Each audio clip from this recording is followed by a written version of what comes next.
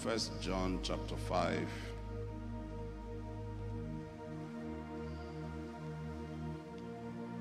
First John chapter 5.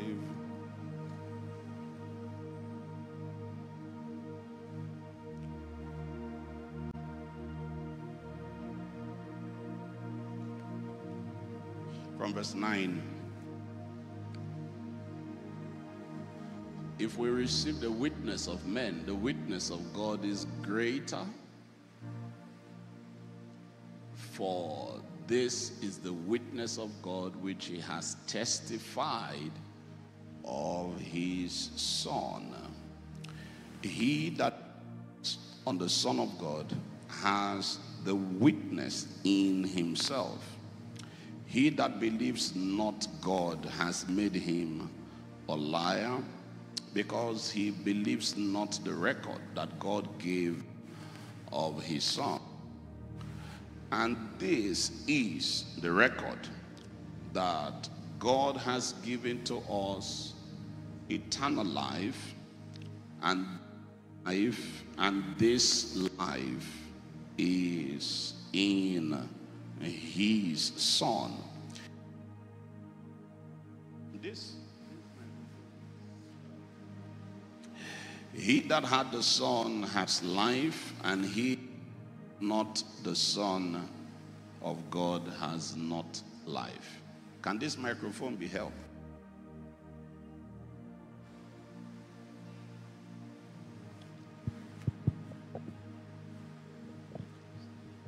Thank you. All right.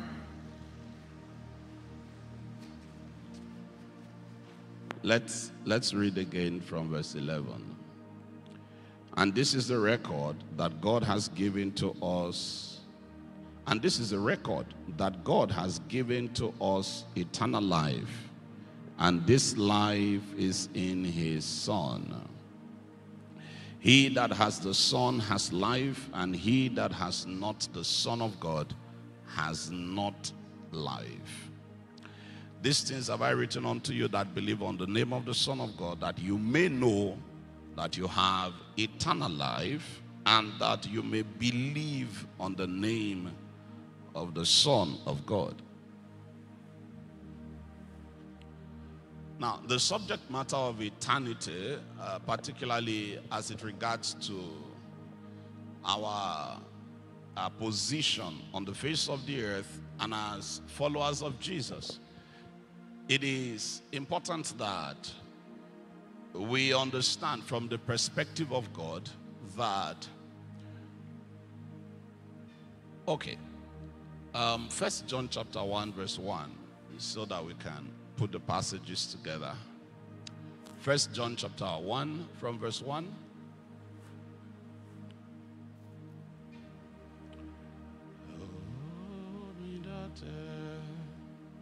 Jesus Jabunemi Oh mi date Jesus Mumiba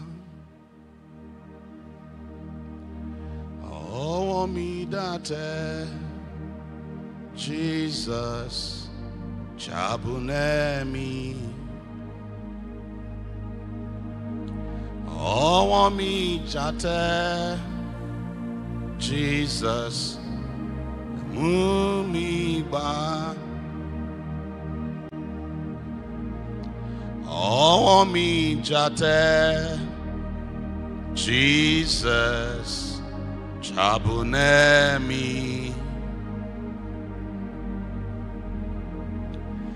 ọwọ́ mi jàtẹ́. Jesus kẹmú mi bá ọwọ́ mi dàtẹ́ o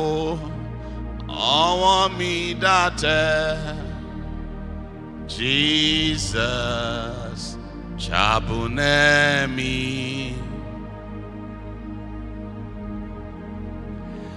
Ọwọ́ dàtẹ́. Jesus kẹmú mi bá ọwọ́ mi jàtẹ́ o ọwọ́ mi dàtẹ́ Jesus chabunemi ọwọ́ mi dàtẹ́ Jesus kẹmú mi gbà ọwọ́ wa jàtẹ́ o. Ọwọ́ wa jàtẹ́ Jesus chabunewa ọwọ́ wa jàtẹ́ Jesus. Oh, ọwọ́ mi dàtẹ́ ọwọ́ mi dàtẹ́ Jesus chabunemi.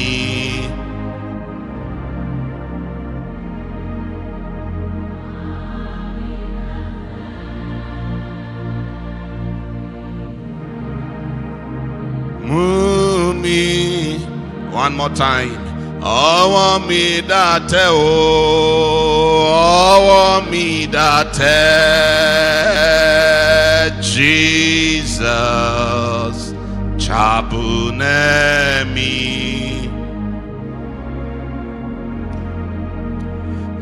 ọwọ́ mi.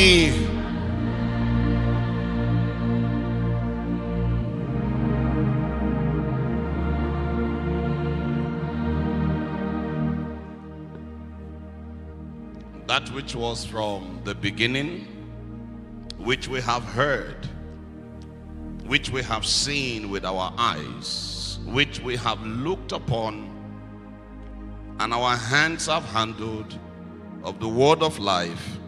For the life was manifested, and we have seen it, and bear witness, and show unto you that eternal life which was with the Father and manifested unto us. That which we have seen and heard declare we unto you, that you also may have fellowship with us. And truly, our fellowship is with the Father and with His Son, Jesus Christ.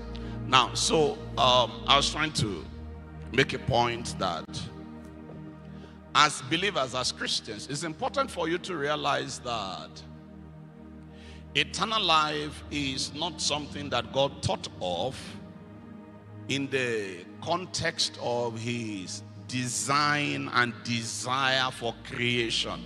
That means eternal life is not just something that God decided to make possible or make available or make exist so that he can give it to people. It is not a solution originally. It is not originally conceived of as a solution that God devised in order to treat a problem or to solve a problem that his creatures would have, whether those creatures are human or non-human. Now, the thing I'm trying to draw uh, into your consciousness is this, that even if God never created eternal life or that which is called eternity, which is the locus for everything else that we do, that we have, was still going to exist nonetheless. Now, by that I mean to say that the eternal, because God is eternal, God inhabits eternity. And not as if to say that God lives in a place that is called eternity, but it is that God's very existence is the embodiment of eternity. It is to say that God is the locus, God is the reference for that which is eternal. God is the reference of eternity. God is the context of eternity. God is the one that, in that sense, therefore, inhabits eternity. Now, it's like the Bible says that um, that God is light, and in Him there's no darkness at all, isn't it? Now, whereas God is light, the Bible also says that God dwells in light that no man can approach.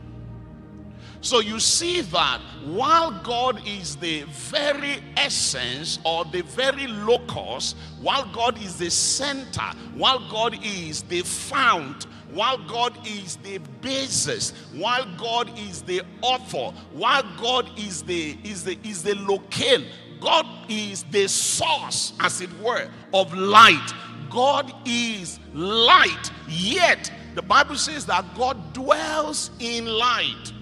In the same way, when we say that God inhabits eternity, we are saying that it is the natural context of the existence of God that God, because He is eternal, therefore must inhabit eternity. If you are with me, say amen.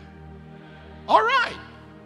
Now, and because of that, it means it means that any relationship that you and I may have at all with the eternal, with eternity, is a privilege that we are invited into, a privilege that we are brought into because even if you never existed, even if humanity never existed, eternity is eternity. eternity is what it is. Now, let, let's let's do it this way. You see, sometimes we use, uh, let's say, eternal life and everlasting life, we use them synonymously. Okay? So uh, we assume that if you have eternal life, it means you have everlasting life. You see, um, everlasting life talks more about the a qualitative, no, a quantitative quality it's a quantitative reference. So, everlasting means that life that lasts forever. Isn't it?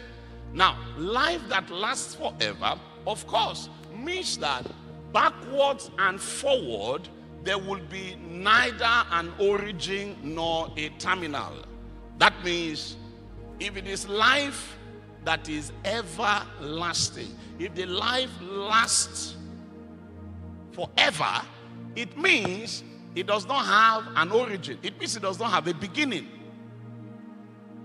Hello? And it would mean that it does not have an end. But that is a language of time, more or less. It is a quantitative, it's quantity. That how long does this life last? And we say it lasts forever. Now, eternal life on the other hand, is more of a qualitative, it amplifies the qualitative nature of the life that has this quantitative dimension. Now, listen to me. Everybody that will live forever, living forever, for instance, is different from everlasting life. Are you with me? Everlasting life is not necessarily the same thing as living forever. Not everybody who lives forever will have everlasting life. Hello? If you believe that people who go to hell are going to continue in hell and they are never going to die and cease existing when they get to hell, it means that they are going to be in hell for how long? Forever. Those that go to heaven, in quote, how long are they going to be in heaven? They're also going to be in heaven forever. So there is this forever on the negative side, there's a forever on the positive side. That is living forever. You might want to call it everlasting living. But because the subject matter of life is a particular usage in scripture, life is a particular usage in scripture. That is why we read the book of John chapter 1. First John chapter 1, I mean to say. Because in him was life, and that life was the light of men, and that light shines in darkness. The life that I'm talking about is eternal in quality. The life that is attached to everlasting life is eternal in quality. We are not just talking about the quantity. So you can have a duration of life that never ends, but a quality of that life that is forever miserable. Did you hear me? All right. So, maybe at another time I'll try to do this. Um, let's let's quickly. I want to get out of your way as soon as possible. 1 John chapter 5, verse 9. Let's get back there. If we receive the witness of men, the witness of God is greater, for this is the witness of God, which he has testified of his Son. He that believes on the Son of God has the witness in himself. This is a morning teaching, not an evening teaching. He that believeth not God has made him a liar because he believes not the record that God gave of his son. This word record is the word testimony. Okay? Now, what is this record that God has given of his son? Verse 11. And this is the record that God has given to us eternal life, and this life, are you there?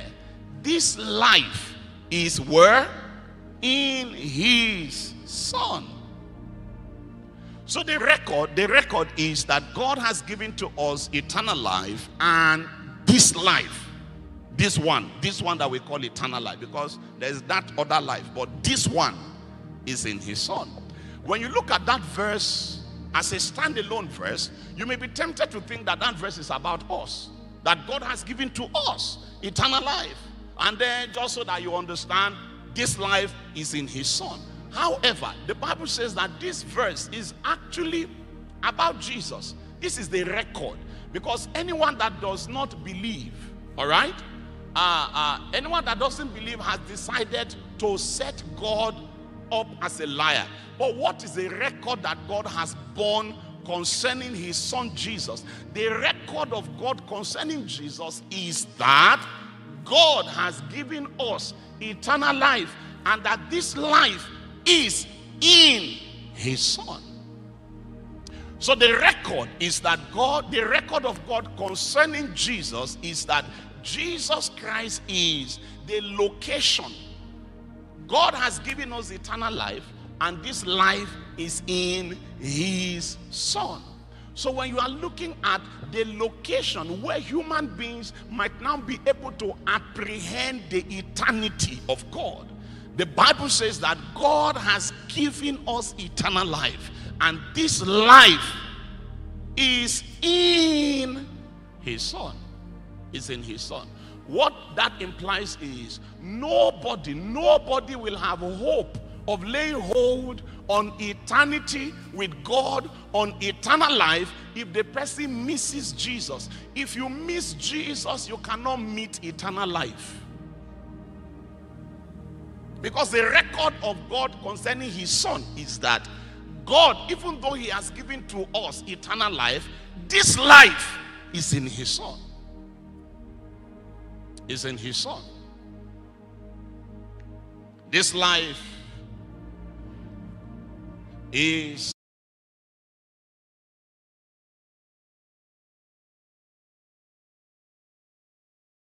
is qualified as eternal as eternal life and that we have seen it and bear witness and shown to you that eternal life which was with the father and manifested unto us. Now, the Bible says the witness of God concerning Jesus is that God has given to us eternal life. And this life is in his son. So, in chapter 1, the Bible says that the life that was with God has been made unto us. Then they know the life was made manifest, and they now called the like that eternal life so when Jesus came on the scene of human history, that was God congealing the invisible into a visible format so that men that are earthbound might be able to apprehend by the senses of the natural person the intangible things of his majesty so that the invisible can become visible and men can have actual tangible experience of that which otherwise may never be apprehended. Listen to me, ladies and gentlemen. Jesus is the locus of eternity.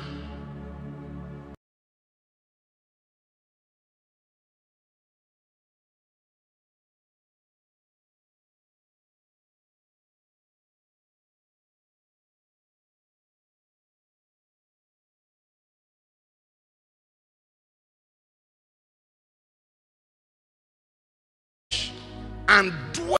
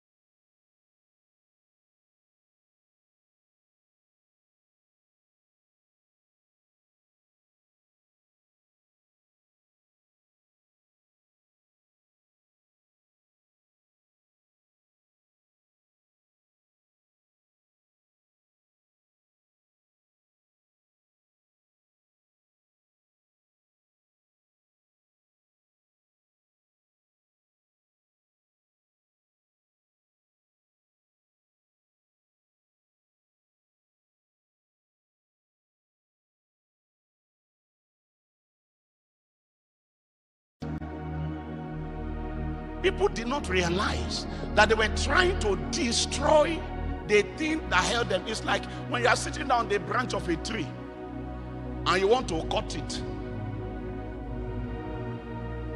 It's something even worse than that. Are you going to take eternity into time in order to kill it inside time? If you kill eternity in time, where will be time be? Where will time be? Because time is a subset of eternity. People did not understand the mystery of the majesty of the possibility of Jesus inhabiting eternity and yet walking in time. They took it for granted so much that the arrogance of the heart of the fallen man felt he could actually kill the one that sustains creation in existence.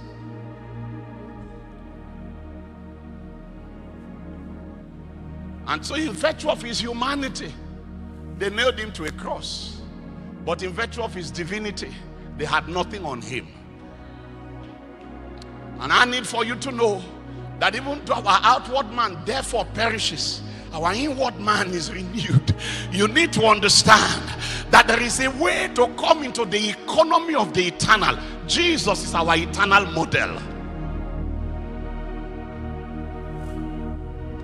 You listen to some of the things that Reverend Austin was saying, you, you, you, you would have gotten that already.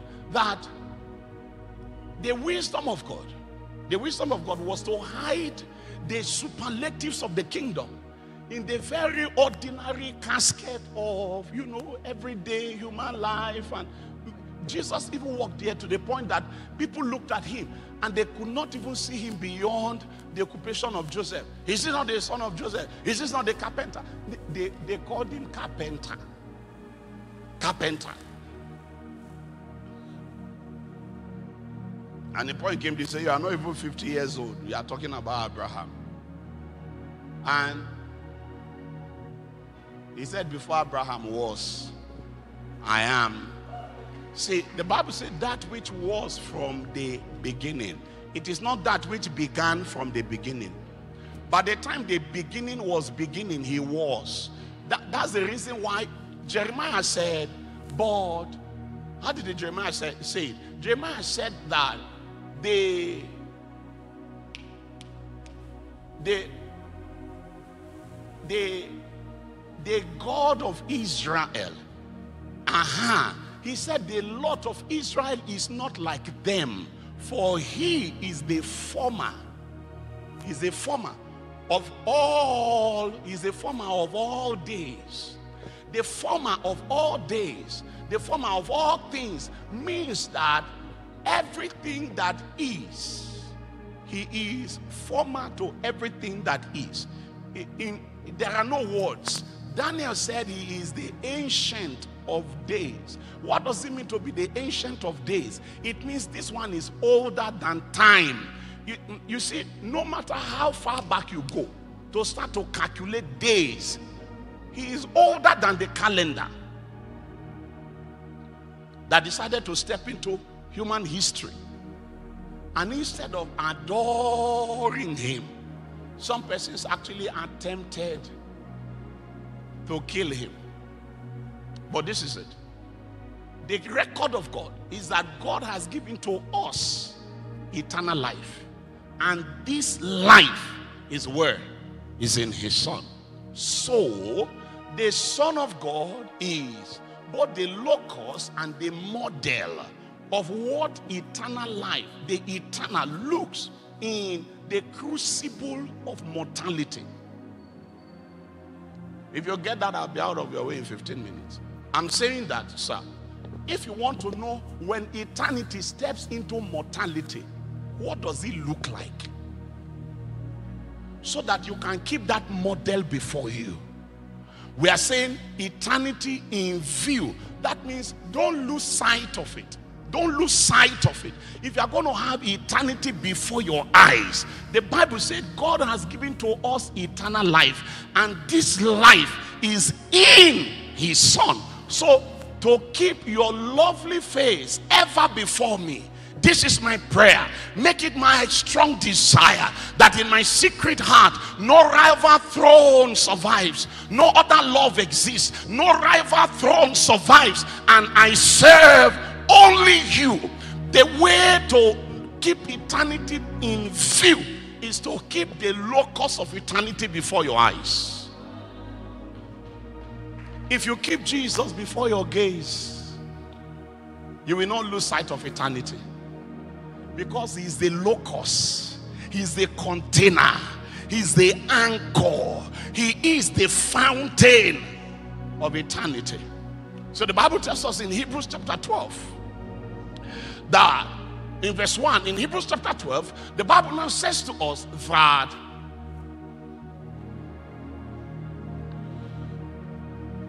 Hebrews 12 Wherefore, seeing we are also, we also are compassed about with so great a cloud of witnesses, let us lay aside every weight and the sin which doth so easily beset us, and let us run with patience the race that is set before us, looking unto Jesus. Are, you saying that? Looking unto Jesus. God has given us eternal life, and this life is in His Son. If you want to keep eternity in view, the admonition of Scripture is looking unto Jesus. Put Him before you. We are surrounded. Yes, there are many people looking at us, but you should not be looking at many people.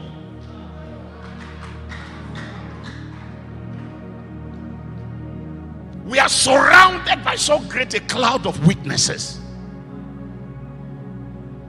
We can pick their testimonies with our ears, but we must never lose gaze of the one that is before us. Looking onto, looking onto, looking onto, looking onto Jesus, the author and the finisher of our faith. Look at that. The Bible said, Who for the joy who for the joy that was set before him did what? He endured the cross. What you endure is called pain, right? He endured the cross, despising the shame. Jesus, as you are looking at Jesus, the Bible says, looking unto Jesus, the author and the finisher of our faith, keep him before your view.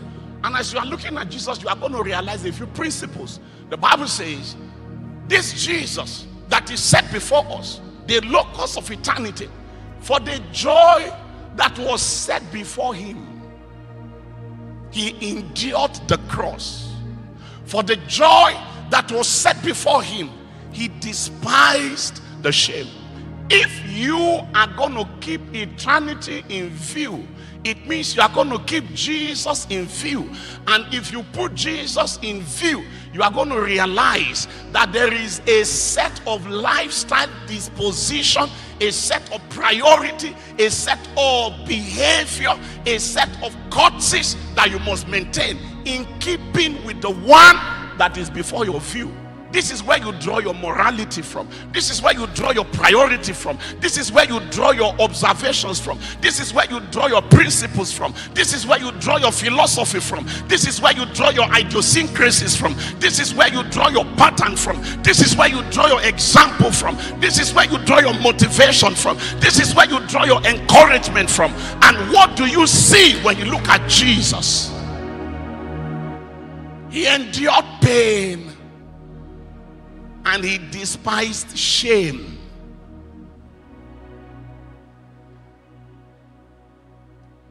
I can tell you,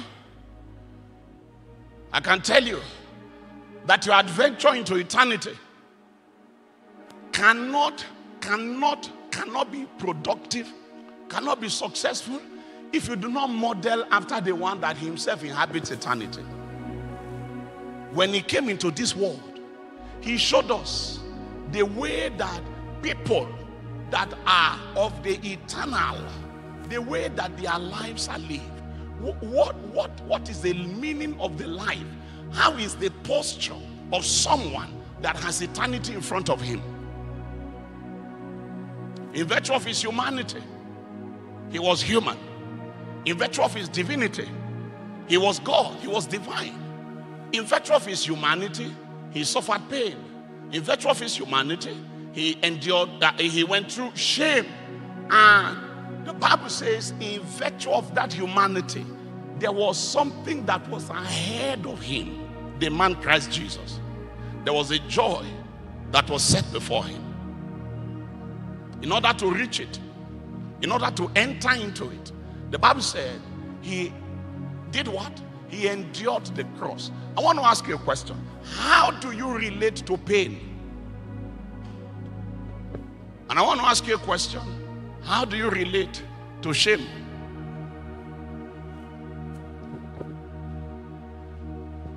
Your response to these two things is an indication of your disposition towards eternity. Listen to me. A man that has eternity in view learns to endure pain. It's not like you are denying it exists, it's that you are enduring it. You know it's there, you endure it. A man that has eternity in view will learn to despise shame. You see, some people, some people handle pain better than they handle shame. Some people handle shame better than they handle pain. In Jesus, you see the model of what it is to deal with pain and what it is to deal with shame. When you are faced with pain, what do you do? Endure. When you are faced with shame, what do you do? Despise.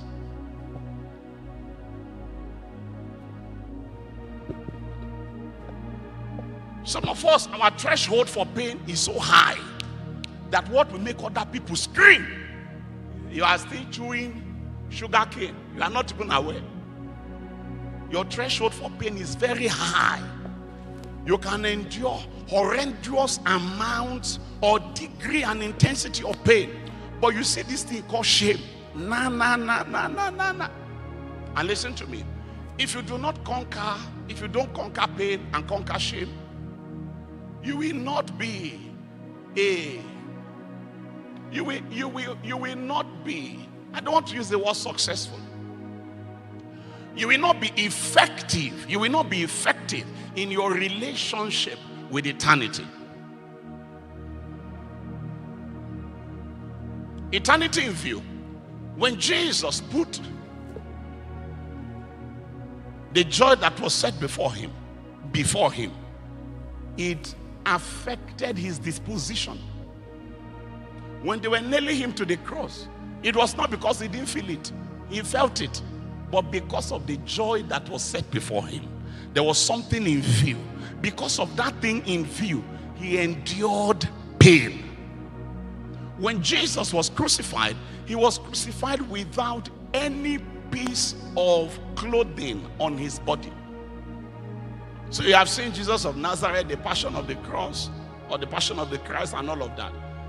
They have not been able to successfully, fully act, even in drama, what Jesus actually went through. The Romans will never crucify you with a pant, with an undergarment. No.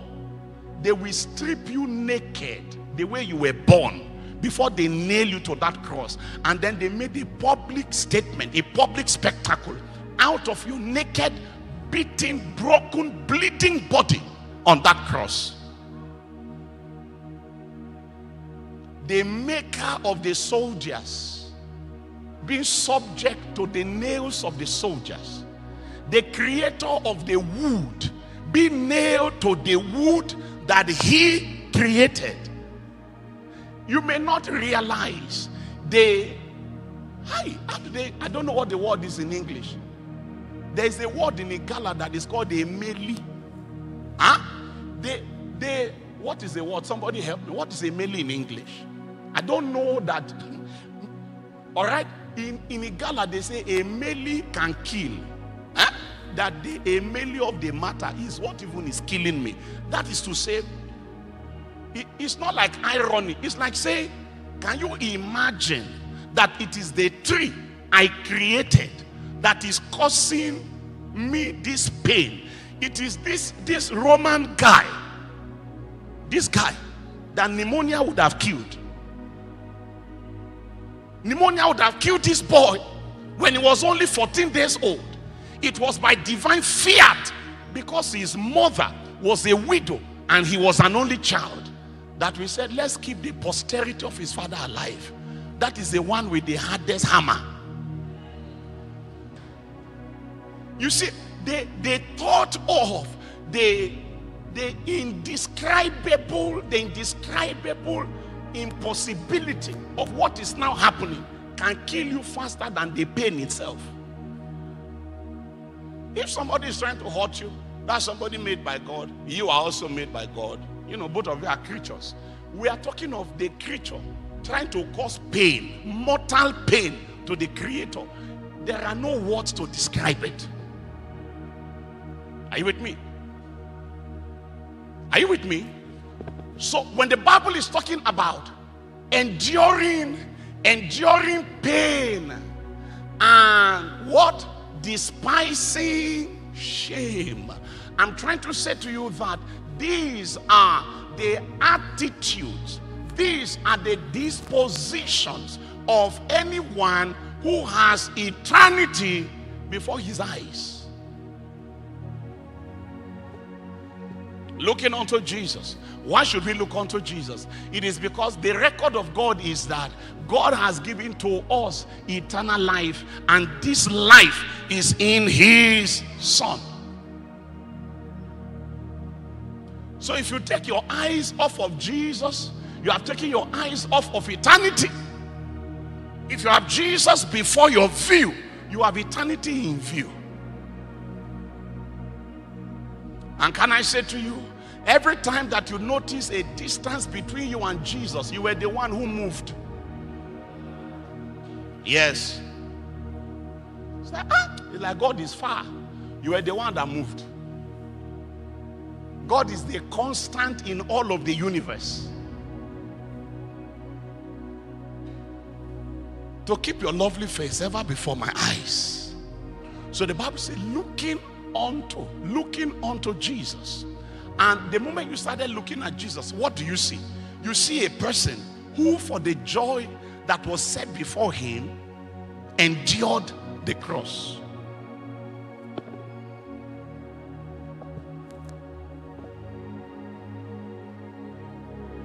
When Leah, when Leah Sharibu, how many of you know Leah Sharibu?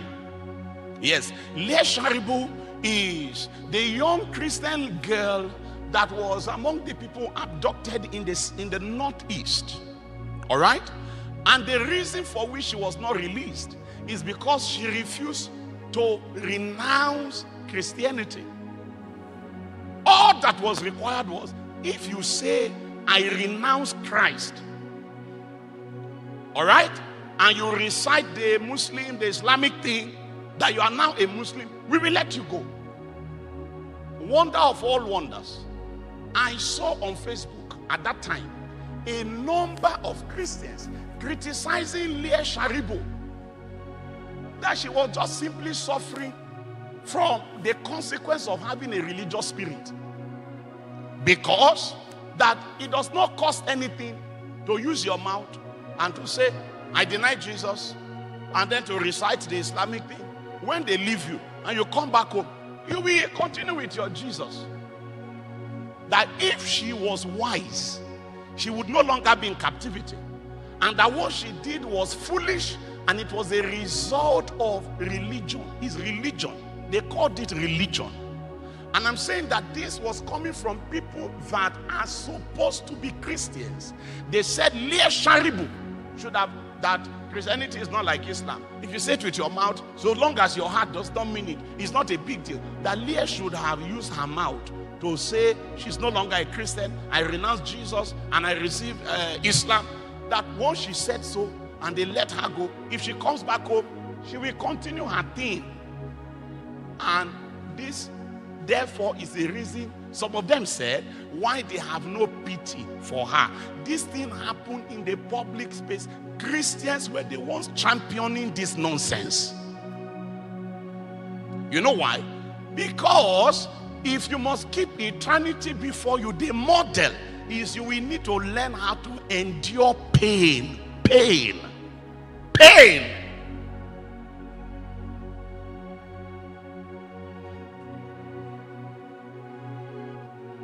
And then you will learn how to despise shame.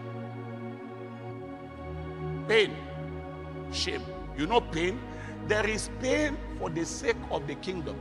Paul told Timothy, he said, as a good soldier, endure hardness, hardness, hardness, endure hardness.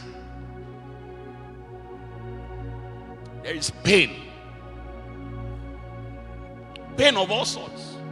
I'm not talking of shame yet. Pain. Can I tell you?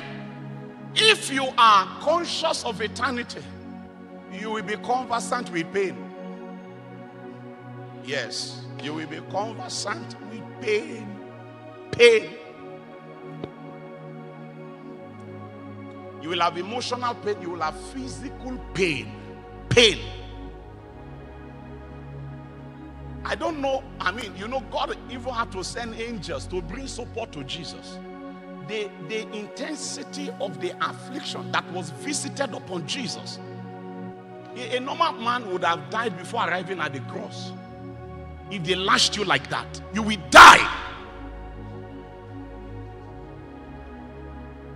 But I can tell you that all the pain in the world that could have been inflicted upon Jesus may not have come anywhere close to the shame of what it was that Jesus went through.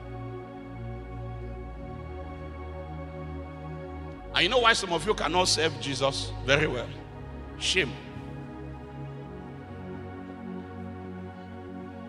You, you even have clothes to wear, but you are ashamed that people can body shame you.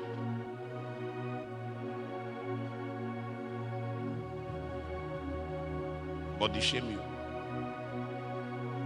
You hear when Reverend Austin was talking? There's no name, there's no name they've not called some of us for the sake of this gospel.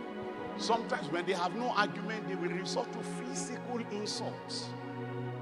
You see, everybody, likely everybody under the sound of my voice, if God gave you a chance to say, the way you are like this now, I give you three options. Three. Any three things you want to change about yourself. I don't know that there is anybody under the sound of my voice that will say, I think I'm perfect the way I am. I don't know anybody. I don't know anybody under the sound of my voice, including me under the sound of my voice. there, there, there'll be a few things that I will love to change. Huh? There'll be a few things that I would love to change about my physical body. I'm a fine boy. but now me where I get this body, no it I won't change. It's the same for everybody here. Don't laugh at me. Say God can. You see, my only problem why I can't do public speaking is this my nose. Can it just be a little bit pointed? Because every time I stand, my, my nose is not allowing people to see me.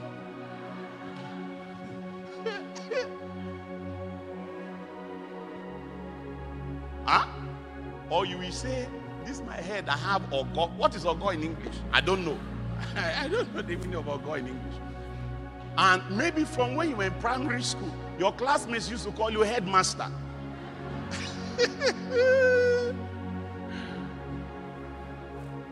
Oyo moyo. They, they, they used to. Headmaster. so, so, God now said, Go! You say, with this head.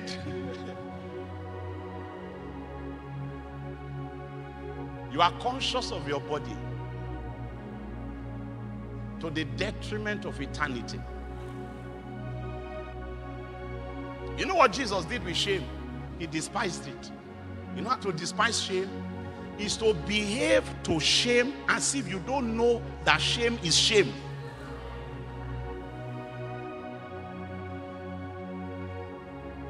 Despise it. I need you to know that that's not something that happened to Jesus. It was something Jesus did. You are the one who will despise shame. Shame is not going to say, I'm, I'm despised. No. You are the one that will despise it. It's an intentional action.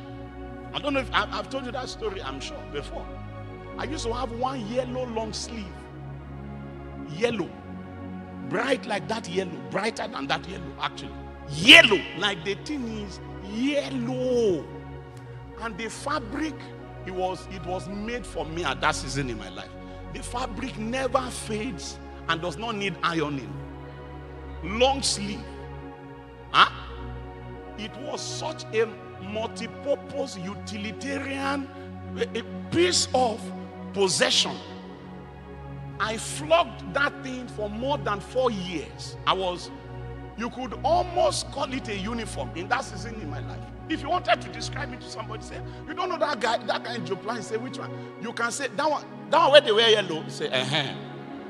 I used to use that yellow on that suit. I used to use that yellow with tie. I used to fold the hand if I need to appear casual.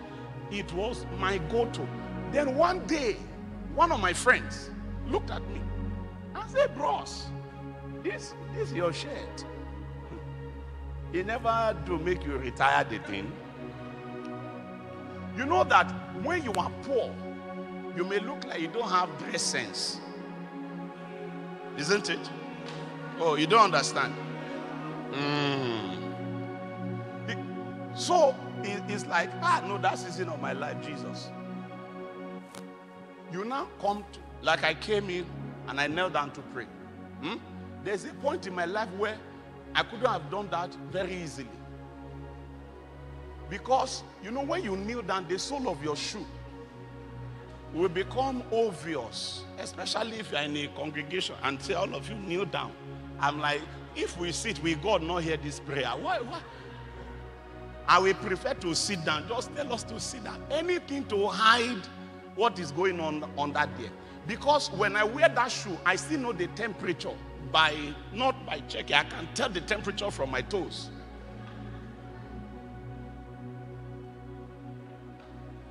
I have used that, I used that shoe to preach Jesus. Huh? Preach, preach the living daylight out of darkness. The day that God helped me and I got a second pair of shoe. And I left this one aside somewhere in the room, village hostel. I can't forget. I dropped it there. It was in that place for about three months. Then one day I came and saw the shoe. I was shocked. I'm like, what happened to this shoe? What happened to this shoe? I was looking at the shoe. I'm like, what happened to this shoe between when I dropped it here and now? You know why? I could never believe, I couldn't believe that I wore that shoe in that condition. So I was like, did something happen from the last time I dropped it till now? Did something happen to it? Nothing. One of the mercies of God to me in that season was like, even me, I didn't realize how bad the shoe was until when God helped me to get a replacement. You know? Okay, I know you come from rich families. You, you. But I'm, I'm trying to say to you, sir, I'm trying to say to you, sir, anything that can cause you shame, huh? it has a destiny. If you have eternity before your view, its destiny is to be despised. Yes. If you want to put eternity before your view, whether it is bodily, whether it is socially, maybe it's a casting. Say you a second-hand citizen. Now who know your, your family say your grandfathers now now slaves then be. Then come this place. Now you want to talk as if whatever it is, despise it.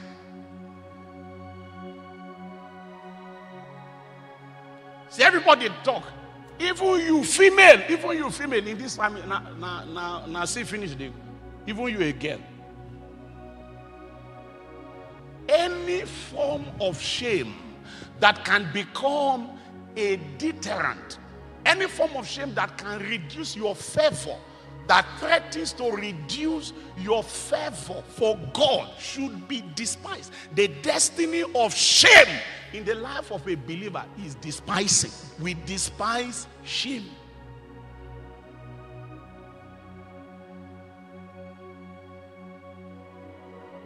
Let me tell you, people of God. Let me tell you, people of God. If you look at the life of Jesus, you, look, you know, hmm, I know people like to say Jesus was very rich when he walked the earth and all of that. I don't totally agree. Hello? You know how many times Jesus borrowed people's boats? Even that day in Luke chapter 5, the boat he used, it was not his own, it was Peter's own. And Peter could have told him, Okay, I'm tired, I want to go home. He said to him, Trust out. He sat in Peter's boat. He said, Please, trust out a little. The boat was borrowed. The thing you are calling triumphant entry. You know, the, the, the, that donkey was what? Borrowed. In fact, when the disciples were going, Jesus told them, He said, If anybody asks you and says, What are you doing? Tell them the master has need of it and he will return it. That means I know you didn't get it. Jesus said, Tell them that when I finish using it, we will send it back. You know, so sometimes when you use it to do deliverance, you need to understand the end of the story. Jesus promised to return it back to. Say, lose him and bring him. Yes, but I will return it. It was borrowed. Even the day that they were telling Jesus, is it good to give tribute to Caesar or not? There was no coin in his own pocket. He said, please, uh, anybody get small coin there?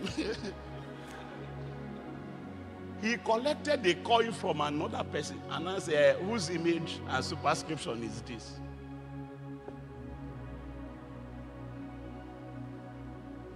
Yet, that was the creator of the ends of the earth.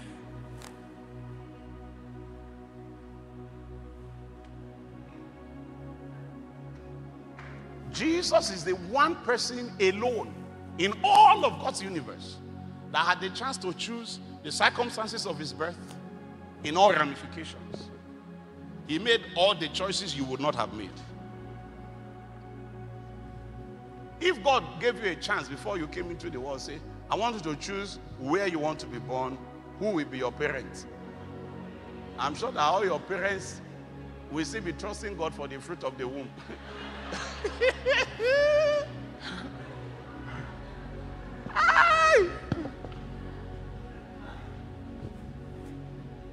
huh? Because number one, I'm sure that the African continent will not even cross your mind.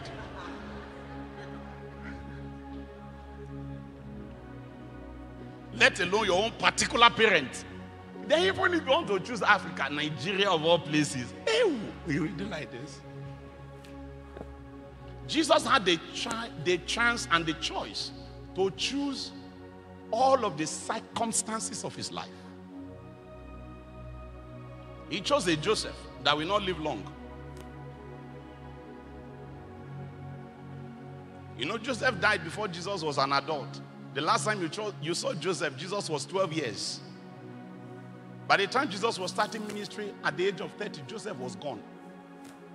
And we know for real that he was gone because when Jesus was dying on the cross, he handed his mother over to a disciple. You think that if the woman's husband was alive, you will carry her, his wife and hand to a disciple. And the Bible said from that moment, that disciple took her onto his own home. So it's obvious that the man was dead. That was how Joseph left James, uh, John, and the other. They had children. After giving birth to the children, Joseph died. Jesus is now the firstborn of the family. So the responsibility of taking care of that family now fell upon Jesus. He did carpentry to the point that they did only call him son of carpenter, they called him carpenter. Is this not the after even when they saw miracle, the image, the vivid image of Jesus as a carpenter will not allow them to come to terms with the fact that the same boy in that carpentry shed trying to see how to take care of his mother and his brothers and sisters. Is, the, is this not the carpenter? And even when Joseph was alive, he was poor. How do I know? The Bible says that when a child is supposed to be dedicated, huh, you bring a four footed beast. I think it was a ram that you were supposed to bring. But the Bible says that if the couple is poor, that's the language of scripture, and they cannot afford it, then they can bring turtle, a pair of turtle doves. That is provided that they cannot afford the four footed beast. When Jesus was going to be purified, when they brought him to the temple for purification according to the law, what did they bring to purify Jesus? It was a pair of turtle doves. Jesus had the chance to choose who his mom will be, who his foster father will be. He chose a Joseph that could not afford the ram for his naming ceremony. A Joseph that will die before he becomes an adult. Like he chose where to be born. Where did he choose? A manger. And you are here, you are ashamed and worried over circumstances of your life that you cannot change, even if you wanted to. Meanwhile, Jesus that could change them did not choose to change them, and they did not change his ability to deliver on destiny. Can I say to you, anything that you cannot change cannot change your destiny. Okay, maybe you didn't get it. I'm trying to say that there is nothing you think is a disadvantage in your life that can be a disadvantage to your destiny, provided that it is outside of your power.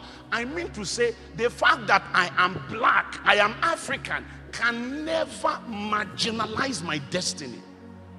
It can't. Can I tell you what it means? It might mean that some of us we need to work harder than others. Some of us we need to pray more than others. Some of us we need to strive more than others. And I've told you before, what God promises you is possibility, not ease. With God, all things are possible. He never said with God, all things are easy. It doesn't mean that things are not easy. Things are easy, but they are easy for Him. I'm the Lord God of all flesh. Is there anything too hard for me? For me, me, me, me? That means no you. Me? The answer is no. Nothing is too hard for you. But when it comes to you, Mary, if you tag along with God, what God promises is that with God, with God, you with God, all things are possible, but not necessarily easy. Things can be hard, but they will be possible.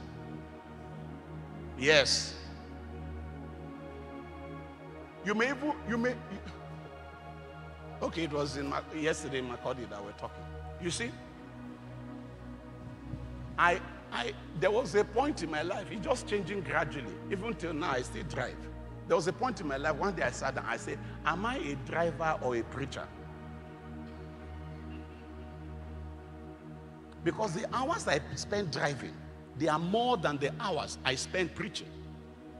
I will drive eight hours to arrive at a place. Then they'll give you 90 minutes. Sometimes they'll give you 25 minutes. Sometimes they'll give you 30 minutes. Then when you finish, you now drive another eight hours to get back home. You, we, we on Nigerian road. So when I there's there's one woman that is uh, I, can't remember what her specialty is anymore. Is it osteopath or something that they used to call them?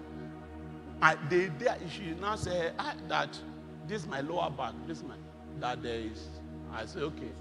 So when she said we need to do lower back manipulation for you, and then uh, that you are going to hear a sound, but don't be don't be alarmed. Me as a me hear sound. That's how the woman put me like that. I don't like my bone just the I say, Jesus. All the stress accumulated on my lower back. So sometimes when I drive after like four hours of driving, I will just find a way to park and stand. When I come and I carry the microphone, it, it, we will preach without recourse to the back. Because when you consider the pain that Jesus Christ went through, I can tell you, you have never seen pain in your life. If Jesus succeeded with such pain, how can you fail with so little pain? You know why? It was because of the joy that was set before him. Even Jesus put something in front of him that motivated him. And he told himself, This pain is but for a moment. Our light and momentary affliction is working for us a far more excellent weight of glory. He knew that this thing is going to last for three days. But you know, Three days Jesus Christ went through the cross and the grave when he rose from the dead. It's been 2,000 years since he rose from the dead, isn't it? 2,000 years later, the dividends of those three days of pain and sorrow and chaos and agony, the dividends are still multiplying. Is that not a good deal? No, talk to me. Is that not a good deal? How long do you have to live in this world? I don't know. If you're ambitious, maybe 100. Super ambitious, maybe 120. So what? Is 120 an irrational price to pay, even if you paid all of it in pain for endless existence? You know how Paul said it? Paul said, For to me, to live, to live, to live is Christ. To die is gain. When you have that kind of orientation, that as long as I'm alive, I want to maximize Jesus. I want to maximize Jesus.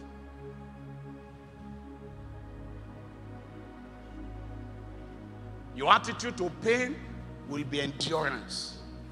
We are not trying to we are not trying to undermine your pain. No, we are not saying pain is not pain, it is pain.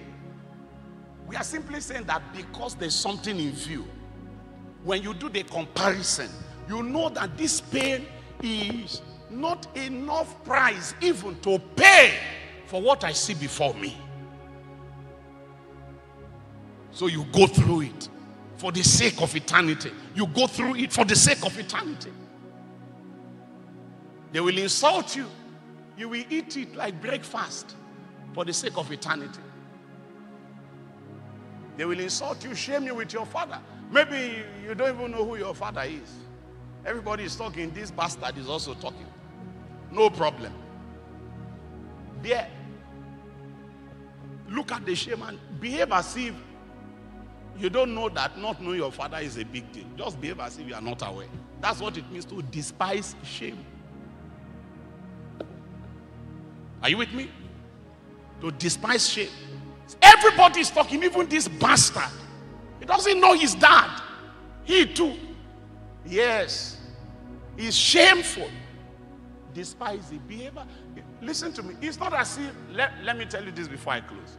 Those things we are talking about there, they are not gifts. Nobody has a gift of endurance. Are you with me? they are not gifts. Say, well, it's because it's easy for you. It's not easy for anybody. Even for Jesus, it was not easy. Did you know how he cried? He said, My God, my God, why hast thou forsaken me? The only thing Jesus did not do was that he did not abdicate. It's not like he didn't feel the pain. The pain was real, it was intense. Intense. So we are not trying to undermine your pain, it's real. Huh? It's real. It can be intense. We are simply saying that there is something you need to keep before you to help you through that moment of pain. And then when it is shame, the same thing. Despise it. That means, let me tell you, like I said, it's not a gift. It just simply means that, you know, sometimes you will need to sit down. There are some of you that part of your problem is body shaming. Was one of the things God said to me when I was going upstage. Body shaming. I, you know how they use that word, particularly in this generation. Say, don't body shame me. Don't body shame. And you have become very conscious of it. Let me tell you what you need to do. You need to sit down in God's presence and have a quiet moment with the Lord. The part of your body that people use to body shame you, or the one that you yourself use to body shame yourself, intentionally talk to God about it and say, God, from today, I admit that according to the general consensus of people, my nose is too wide, or I don't know, maybe you'd have loved two more inches to your height, or maybe you think you are too fair and there's no darkening cream so that you can be pure African queen. All right? Because I know those that think they are dark, they don't send God, they send to the market and they do something about it. Right? Whatever it is. Maybe you are too leper. Say, any food I eat, I don't to know where it goes in this my body. I've tried to add weight, it cannot work. Or maybe you think you are too fat. Say, even if I do dry fasting for 40 days, me, I just used to add weight. Once I start fasting, I start adding weight. What else shall I do? Whatever it is that is your problem, that that anything, the thing that used to rise up and then it will it will dampen your confidence. That thing. Be factual before God. One of the beauties of being sincere with God is that God is not a gossip. You see, when I stand here, when I stand here preaching like this now, God is not going to come to you and say, Don't mind him. Oh. As he's doing that thing like that now, as if he's bold. Now, just yesterday evening, he was before me crying, cry, crying about his ear, that his ear lobe is too big. Now, he's talking as if uh, he's very bold and confident. God, your secrets are safe with Jesus. They are safe with Jesus. Don't hold anything back. Sit before Him and put the list of all of those things that cause you shame put them before him and receive grace over each of them. I despise you. You have no power over me. You have no venom over me. And big nose or no big nose, you have no power, you have no venom. And then take the look for the word of God that applies to those things. God has made me fearfully and wonderfully. Tell yourself that you have been accepted in the beloved. That's what the Bible says in Ephesians 1 6. We have been accepted in the beloved. The place have been accepted is the most prestigious club that there is, not just in this world, but in the world to come. If I have been accepted where it matters most, I don't care where else I have not been accepted. In Hebrews, it says, Throw not therefore away your confidence, for it is of great recompense of reward. It, the confidence has been given to you by God when you became a believer. The instruction is don't throw it away. Throw not away, therefore, your confidence. I think it's Hebrews 13. Don't throw it away. Hebrews 10, I mean to say. Throw not therefore away your confidence, for it is of great recompense of reward. There's reward for confidence. So pump your spirit with the things that God said. That is the antidote to the things that the world has said, to the things that you have said concerning yourself. And then the next time you step out there and you stand there, no ostentation, no ambition, no pride, but at the same time, no shame. I am what I am by the grace of God. If you don't like what I am, give me more grace.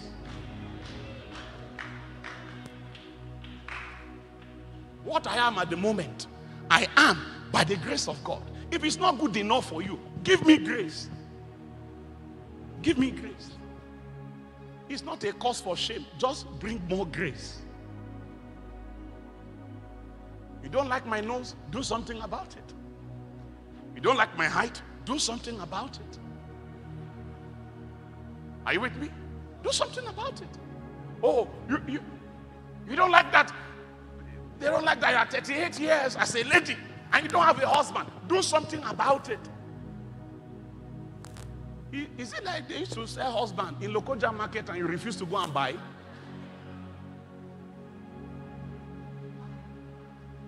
The person who thinks it's a problem, let him do something about it. So you will stand before God and tell him, My times are in your hands. My times, they are in your hands. Listen to me. The Christian does not need motivational speaking in order to fulfill destiny. That's why you have scripture. What we have is hope. Hope. Hope. Hope. In hope of eternal life, which God that cannot lie has promised. Hope. That's what we have. So the reason we talk like this is not because there are no issues, it's because we have eternity before us. And the protocol of eternity begins with enduring pain and despising shame. Can I tell people of God? Finally, if you learn to endure pain and to despise shame, you will not sin. Bro, every time that you are tempted to sin, the attraction of the sin is in the pain or the shame that the sin is promising to deliver you from. That's the power of sin pain and shame. Pain and shame. Eh, think of any sin you have been tempted to commit. There was a pleasure that it promised to produce and provide you and deliver you from a corresponding pain. And there was a shame, maybe, that it promised to deliver. Why do people used to lie sometimes to collect extra money from their parents when they are going to school? They don't want to appear as if their yellow shirt is uniform. Isn't it? You, you don't want to be embarrassed every time. You are the only one that is wearing the same shirt to every function. To avoid the shame of appearing as if you don't have dress sense. That's why you lie to your parents and added 25,000 naira over what was required by the department. And you know your dad will not investigate. So they sent you the 75K. You paid the 50K and then you use the 25K to buy something for yourself, to, to, to, to change your wardrobe. So that you will avoid the shame of appearing as if you don't have dress sense. Sometimes it's because they will call you names. Say, ah, this guy, you just leave village, your village never leave you. So you want to you, you want to show that village has left you. That was why you compromised. There is no sin that is not promising you either deliverance from pain, deliverance or deliverance from pleasure, or promising you deliverance from both. The reason why Jesus would have been tempted to avoid the cross was to avoid pain and shame. That's all. So the moment you are ready, you did, I'm not sure you got this my point. You need to get it before we pray. Sister, I'm saying to you that if pain is no longer a problem and shame is no longer a problem, sin is no longer a problem. Yes. If pain is no longer a problem and shame is no longer a problem, sin is no longer a problem. Every sin's attraction is either in the pain it promises to deliver you from or the shame it promises to deliver you from. It's as simple as that.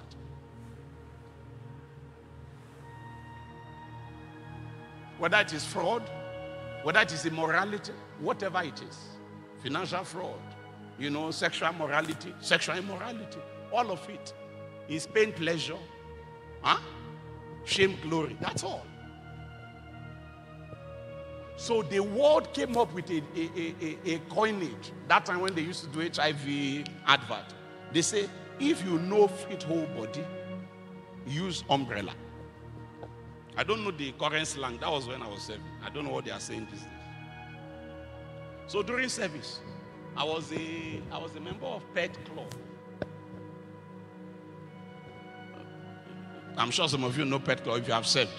Pet Club, peer education training for HIV/AIDS. So during our training, they were now telling us all this. If you know fit whole body, that's the pidgin. If you cannot abstain, use a condom. A for abstinence, B for be faithful, C for condom. And I said, my problem with this slang is the language of cannot. I'm happy to tell people if you will not, if you will not abstain. But don't tell them if you cannot abstain because you are making it look as if those of us that are not fornicating is because we can. It's because we can abstain. And those that are fornicating is because they cannot abstain. It's an insult to me and it's an insult to them. You are making them look like weaklings. What do you mean by if you cannot abstain? Tell them if you will not abstain. Let them take responsibility for their action. Let them know the only reason they are doing it is because they will to do it. It's not because they cannot not do it. So, and I say so in pidgin, don't say if you know fit whole body. Tell them if you know one whole body.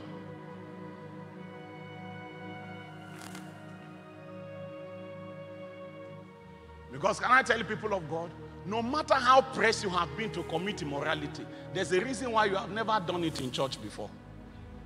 That's all you need to know that you can hold body. Nobody has been, no, nobody has been under such pressure to commit immorality. Like my libido is so high, I am so horny, whatever, whatever it is, to the extent that you started making out inside church. No matter how bad it is, you will still be patient until you chose a convenient environment. You, you can't come out of that kind of situation and tell me that you fell.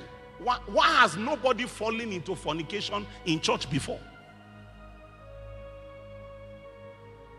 You know, you arrange, you went into a space, you went into a room, you shut the door. You had to be sure that the environment was conducive for the sin that you are now about to commit. How can you be so intentional and come out on the other end and say you fell? Is that how to fall? Have you seen anybody planning to fall before?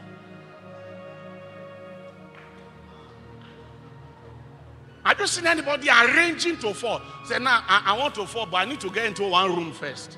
Then you go to the room. You say, I want to fall, but I want to be sure there's nobody here. You confirm there's nobody. I want to fall, but I want to be sure nobody can come in. So you jam the door. I want to fall. I want to be double sure nobody can come in. Then you lock the key. You lock the door. I want to follow, but uh, I'm still not there. You now remove your trouser. And in order to remove trouser, hey, it's not easy. Oh. It's not easy. There is belt. The hurdles you need to go through to remove that trouser. There is a belt. You you took the belt, you unstrapped it, then you now meet one button. That's second hurdle. You remove the button. Then you come to the middle here, there is a hook. That's number three. You remove the hook. After removing hook, trouser will still not fall on its own because there's a zip. Then you use your hand, you held the zip and zipped it all the way down. That's number four. Trouser is still hanging somewhere there. Then you use your hand and help it to drop. After the trouser has finally dropped, you now meet boxers. You, you have a boxers under. Then you remove boxer. Now, how can you go through more than half a dozen steps of intentional, deliberate personal, consciously carried out activity. And then the end, you say, I fell. You are a very dishonest man. Have you ever seen anybody falling like that? Say, this thing I'm doing now, huh? I'm about to follow, oh. but and, and I just they start. I just now fall I won't fall, but I still I sit there for road.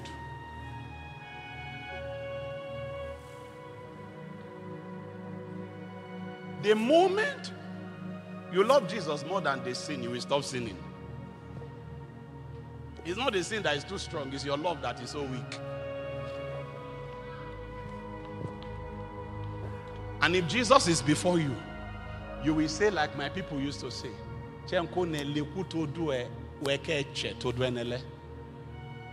if somebody can die for your sake, you should be ready to rot for his own sake. Our fathers used to sing, Because he died for me, I will live all my life for him. If you have Jesus before you, he will be your eternal example. And the model of Jesus is to endure pain and to despise shame. So after today, what are you going to do to pain? Talk to me. What are you going to do to pain? You endure pain. What are you going to do to shame? So people will look at you. I used to teach my people that that's how to be impossible for Satan. Satan will now say, What do we there used to be that movie, they call it uh, Sound of Music. Very old movie. Huh? Maria is rated. There's a song they sang in that in that thing. How do you solve a problem like Maria? How do you solve a problem, problem like Maria? Does anybody know? Like, how do you solve a problem like Maria? That's the way I want Satan to sing over my life. How do you solve a problem like Gideon? Like this guy, if you give him money, he uses it as fuel to serve God. If you take money away from him, he uses it as fuel to service his devotion. Okay. Like, you see, Satan needs to come to a point where he is helpless about your matter. To say, we have tried him with poverty, he didn't budge. Let's pump him with money.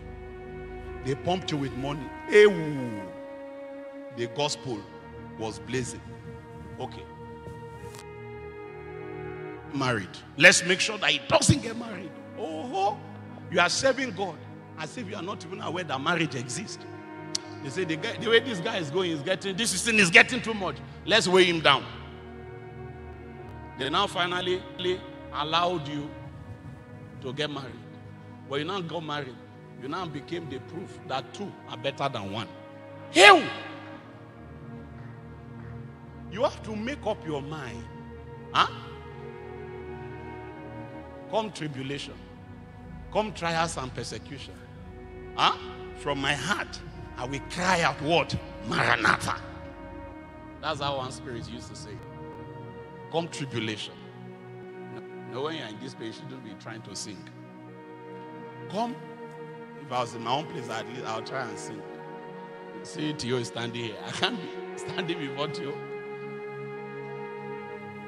These people will be scoring my voice. So that's why I'm reciting the songs. Come tribulation, come trials and temptation.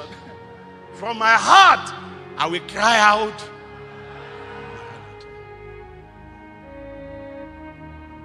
Is to walk upright before you and be blameless in your sight, my desire, my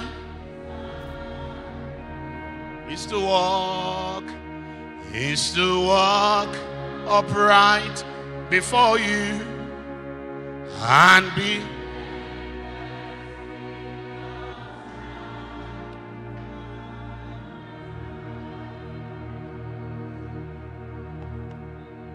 Oh, Holy One, Help me walk and be blameless.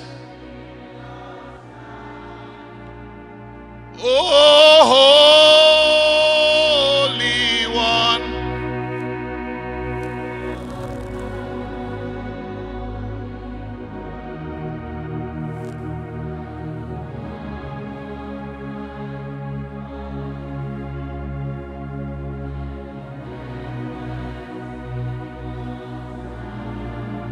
My desire,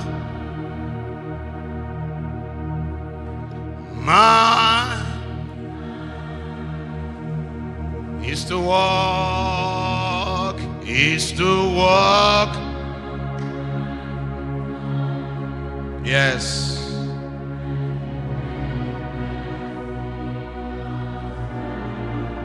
My desire, my is to walk, is to walk upright and be blameless.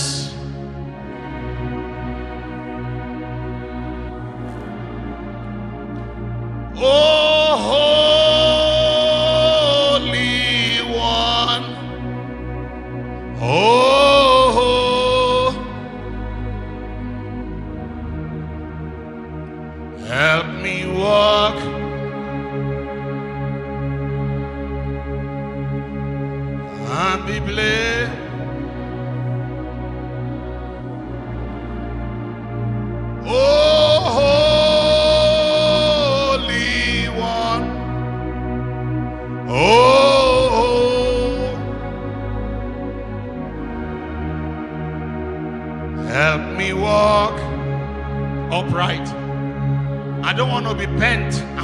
able to stand upright. No shame, no pain. We bent me over. Upright, upright, upright, upright. The angulation of my life will be upright, upright, upright. Not down wrong, not down wrong, up and right. Efis kemene toko felina sebelama. Iria sande sokinanta kobe natama. Arioko se saine takabelomo. Areneno. Arioma. Aine semino. Arabana tu sasamina tu kepane. Arigomene kabino ko paranati atabe. Aroske panitaba paratomo. Kobe talamanate.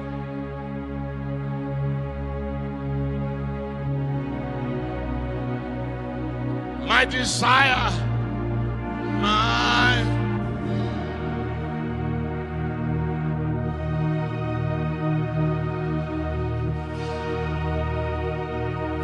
Theophilus, I need help. Is to walk.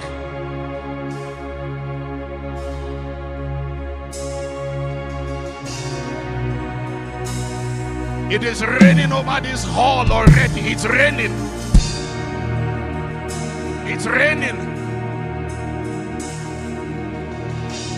We keep Jesus before our eyes. Help me walk.